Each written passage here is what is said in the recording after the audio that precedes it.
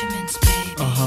It's all about the Benjamins, baby. Uh-huh. Spot TV's got TV log. Uh, tell us how is it coming back here and mentoring the students? First of all, it's it's uh-huh. Terrence J 106 slash Spot TV. All right, I've been there since the beginning. Fat shouts to Troy, fat shouts to V. They know I love them. I still owe y'all some money, but I love y'all regard. I, I know you know I owe you something, girl. I, for all them dinners you took me out, and for Troy, fat shouts to you too. Um, right now, what was the question you asked me? I just wanted to show y'all.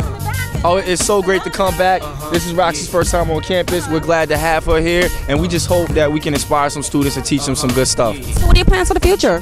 Um, right now, we got a movie that we're working on. Uh, we just signed another contract with 106. We got the radio show, and we just continuing to work hard. You're doing your thing. Any inspirational for the kids is coming up? Don't follow your dreams, chase them. I've been told my whole life I was too short, too skinny, too ugly, and not smart enough to do a lot of things, but I'm doing something with myself. So don't worry about what people tell you. Just go after your dreams. Listen, you know Spot TV got TV on lock. Why wouldn't they? It's your boy Terrence J 106 and Park. Hi Troy, hi V. I'll see y'all later. Uh,